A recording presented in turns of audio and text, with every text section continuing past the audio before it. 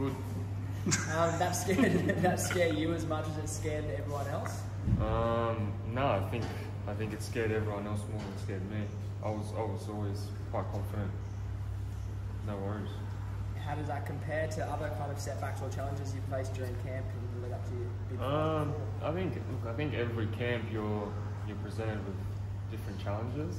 Um, yeah, this wasn't wasn't ideal, but a day after I was sweet. It was just at the time it was a bit, I guess, a little bit nerve wracking, but we move on, and now it's the fight. Forget about the dog fight. How long have you been on the coast for? How's preparations going so far? Been here for a week now, uh, nice and settled now. Uh, staying over at Broadbeach, got a nice little house. Everything's good. I can't complain. The weather's beautiful. Uh, the training here is great. Uh, smashed out a few rounds of sparring uh, the other day, so yeah, everything's on track. How's your motivation?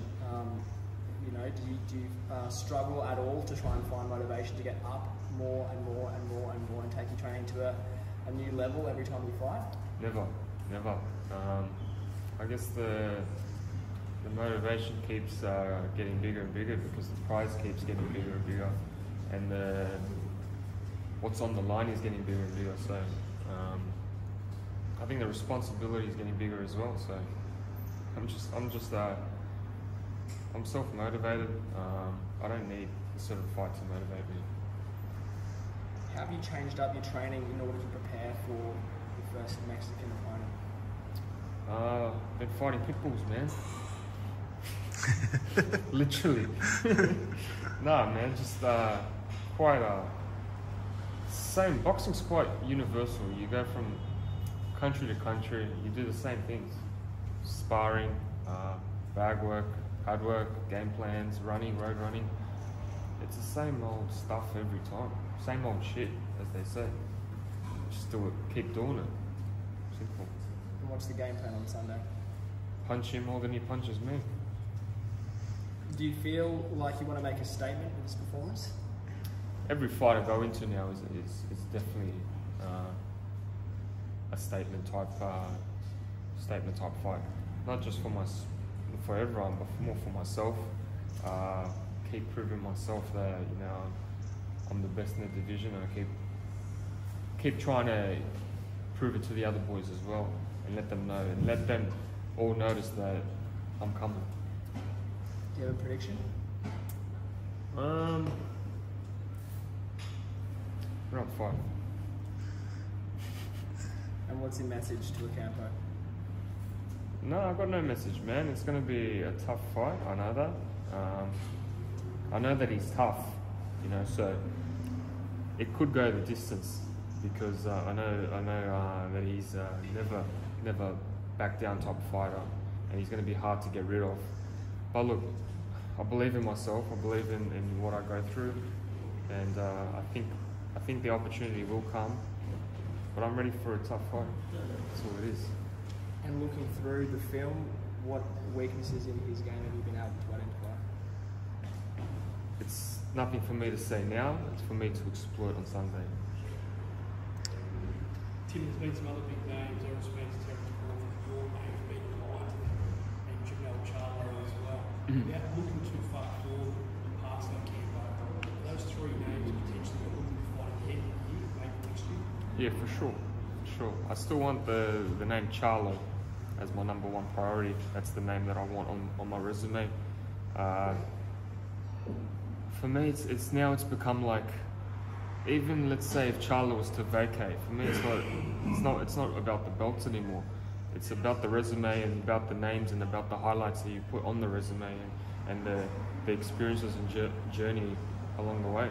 So that's what it's all about. And Charlo is my my aim. That's the as as you play in video games, there's the big boss, and you got to get rid of all these little bosses on the way to the big boss.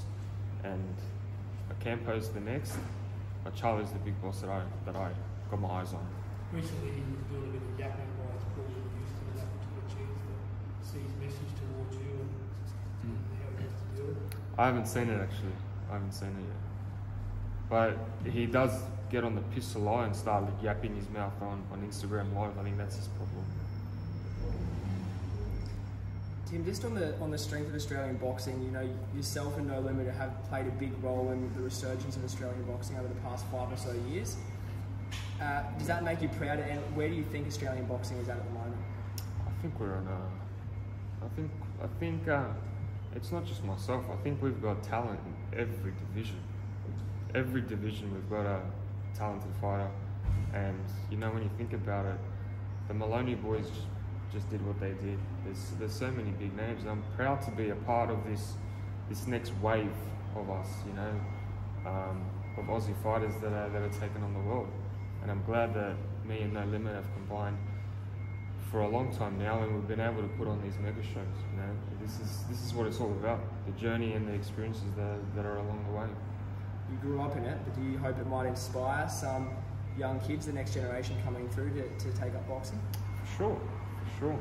Um, there's a there's a platform now here in, in Australia that we can exploit, you know, and Showtime, Jimmy Lennon Jr., all of this stuff is coming here.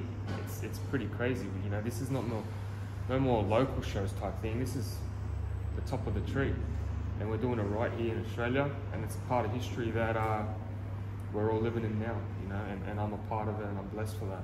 So yeah, it's, it's, it's great to, to be in my shoes, and I'm I'm grateful to be able to you know bring that next wave of fighters uh, to be able to fight under me as well.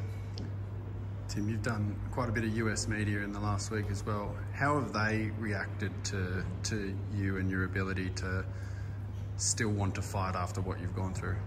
Yeah, I think there's there's a lot of respect in that. You know, I could have I could have gone the, the easy path, I guess, and just said, you know what, I'm gonna I'm gonna take a little bit of a time off and a bit of rest. But no, it's not me.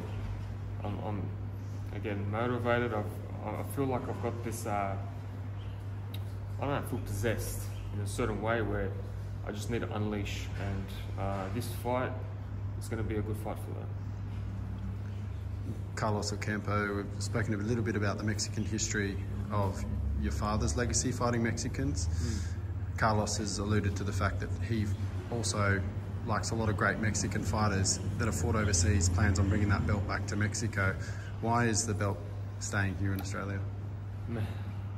Look, I think 22 times everyone said the exact same thing that they're going to beat me in that um, words are cheap, actions speak louder than words. And that's what I do. You know it, you know? I just, I don't need to convince people why I'm going to win. I don't need to tell people this and that. I just do it. And then people, I guess, they believe the hype or they don't. And everyone can have their own opinion about it. There's another big event happening a couple of days after you. Do you have any uh, words for Freddie Fittler and the Blues as well, leading into Origin? Oh man, I'm in, I'm in enemy territory right now, eh? um, let's get the job done, man. Two, let's go two one. Our way.